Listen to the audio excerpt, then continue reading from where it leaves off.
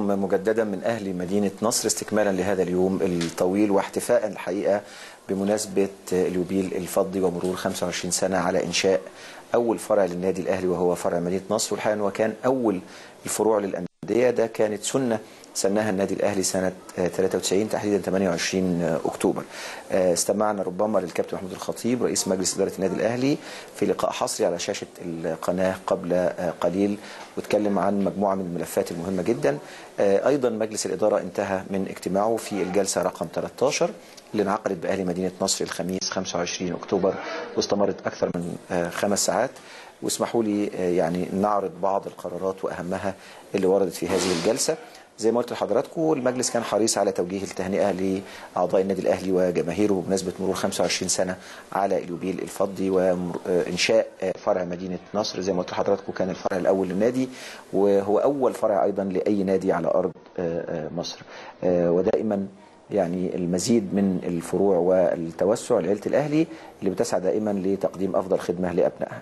رقم اثنين الحقيقة إنه اطلع مجلس الإدارة على عقد بيع حقوق رعاية النادي الأهلي المبرم بين شركة الأهلي للإنتاج الإعلامي وشركة بريزنتيشن اللي أصبحت شريكة للنادي الأهلي ووافق مجلس الإدارة على ما تم من إجراءات من شركة الأهلي للإنتاج الإعلامي مع شركة بريزنتيشن وده بناء على أمر الإسناد الصادر من مجلس الإدارة لشركة الأهلي للإنتاج الإعلامي في جلسة مجلس الإدارة 1 10 2018 ووافق المجلس أيضا على حوالة الحقوق والالتزامات الواردة بالعقد من الشركة للنادي والاطلاع على كافة الإجراءات بهذا الشأن.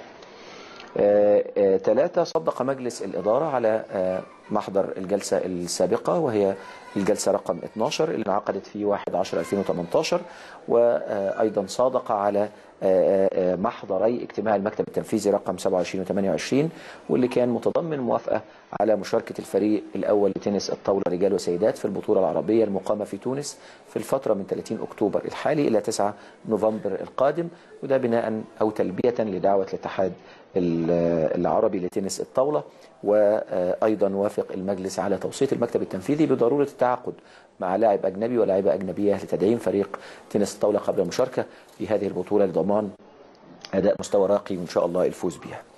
آه رابعا صدق المجلس على صرف مكافأة للعاملين بالنادي تقديرا لجهدهم الحقيقة غير العادي والمبذول خلال انعقاد الجمعية العمومية غير العادية اللي أقر فيها النادي الأهلي أو الجمعية العمومية للنادي الأهلي وأعضاء النادي الأهلي لائحة النظام الأساسي للنادي وتم اعتمادها وقريبا تنشر بإذن الله في يعني خلال أيام في الجريدة الجريدة الرسمية أو ما نسميها الوقائع المصرية لبدء العمل بها على الفور طبقا للقانون المجلس أيضا وخامسا اطلع على الملفات المكلف بها السادة أعضاء مجلس الاداره حضراتكم عارفين إنه كابتن محمود الخطيب رئيس مجلس الاداره كان مكلف أو المجلس كل عضو يشتغل على ملف يعني يكون بيتميز أو بيبدع فيه إن صح التعبير وينهض به كان في ملف مهم.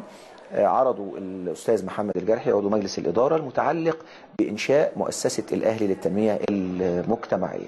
هذا العرض لاقى قبول واستحسان الحقيقة مجلس الإدارة ووافقوا على ما جاء بالعرض وطلبوا من الأستاذ محمد الجرحي ضرورة إنهاء هذه الدراسة اللي عرضت وكانت دراسة وفية تماما وهيكون في خطوات قادمة وسريعة من أجل إنشاء وتأسيس مؤسسة الأهلي للتنمية المجتمعية اللي هيكون لها دور مجتمع كبير جدا في المجتمع في إطار حرص النادي الأهلي على مساعدة المجتمع الحقيقة وعدم الاكتفاء أو الانكفاء على ذاته فقط في المجال الرياضي. النادي الأهلي مؤسسة عظيمة ومؤسسة كبيرة شايفة أن يكون لها دور مهم في المجتمع المصري بكل تأكيد.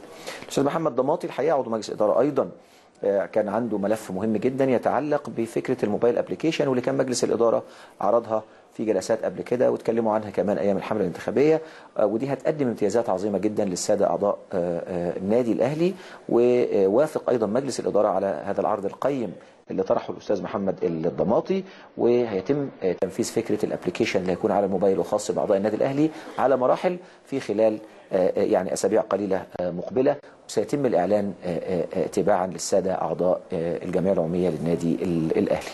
أيضا وفي هذا الإطار في إطار الملفات الموكلة إلى أعضاء مجلس الإدارة المهندس محمد سراج عضو مجلس الإدارة عرض مشروع يتعلق بإنشاء متحف النادي الأهلي. أيضا ده كان هدف من إهداف مجلس إدارة النادي الأهلي آه، فكرة إنشاء متحف يليق باسم وتاريخ النادي الأهلي وهو تاريخ عظيم لا شك. والحقيقة إنه المجلس وافق على ما جاء بعرض المهندس محمد آه، آه، سراج. وهذا المتحف أو المتحف عربيا يعني سيكون مكانه أو مقره هو النادي الأهلي طبعا بالجزيرة. وتم تكليف المهندس سراج بالبدء فورا في التنفيذ والحقيقة توفير كل المتطلبات اللازمة لخروج متحف النادي الأهلي بالشكل اللائق.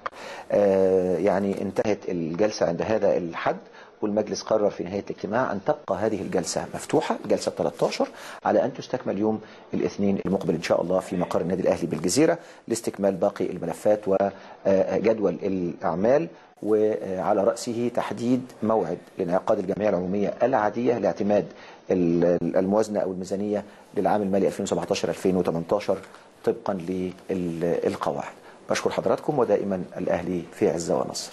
إلى اللقاء.